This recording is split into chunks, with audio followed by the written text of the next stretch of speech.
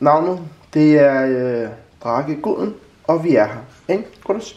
I dag, der øh, skal vi støde i messen, ikke? Og øh, det, det handler om i dag, det er, at i dag er der mulighed. Prøv lige at tjekke det her mad her. Shit, shit, shit. I går, der var det jo altså endnu en depressionsdag. Gider du lade være med at larme din fucking jo? Godt.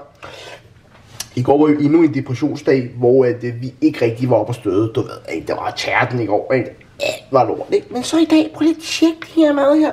Og det er faktisk øh, rimelig stødende. Ikke? Der er ris og majs støtte inden for den anden dag. Ikke? Og så er der det der chorizo. Ikke? Prøv at se chorizo. farme chorizo. Prøv at tjekke. Prøv at tjekke. tjekke. Farmer chorizo, mister. Kan vi få noget fokus på chorizoen, bror mand? Hallo? Okay. Det er lækkert, ikke? Godt. Og så er der lige en lille peberfrugt, og så en lille øh, i pølseged, ikke? I en øh, rimelig fornuftig lækkerhedsret. Så det tænker jeg, det kører vi i kæften. Øhm, ja, det skal vi sgu da have. Jeg er altså lige ved at dø af. Sådan er det, når man er en tynd mis.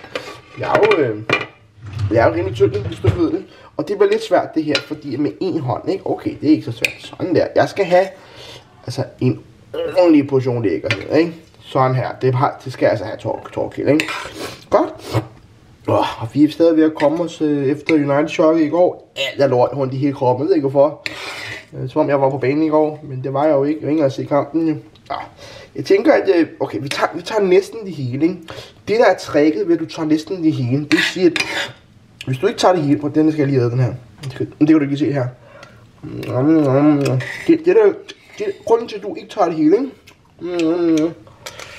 det er fordi, og så går du ud lidt senere, og så tager du lige sådan en, så tager du den her, og så connecter du lige den i kæften, og så øhm,